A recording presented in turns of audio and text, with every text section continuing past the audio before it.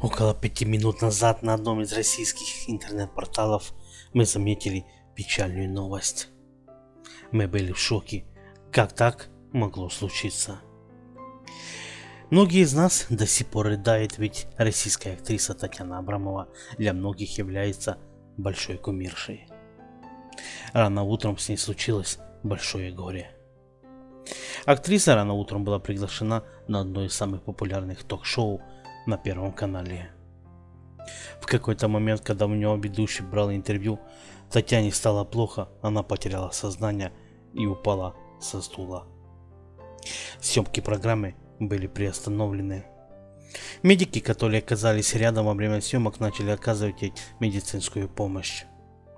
Привести ее в чувство никак не получалось. Было принято решение о вызове скорой помощи. На скорой помощи Татьяна Абрамова была доставлена в клинику города Москвы. Сейчас она находится там, а ее состояние пока неизвестно. Многие из нас никак не могут успокоиться, пишут нам письма с просьбой узнать более подробней об этой трагедии. Друзья, мы продолжаем наблюдать за развитием этого события. Будем надеяться, что с ней все будет хорошо. А вы не забудьте подписаться, ведь мы делаем интересные новости только для вас. Будьте с нами, до скорых встреч на нашем канале.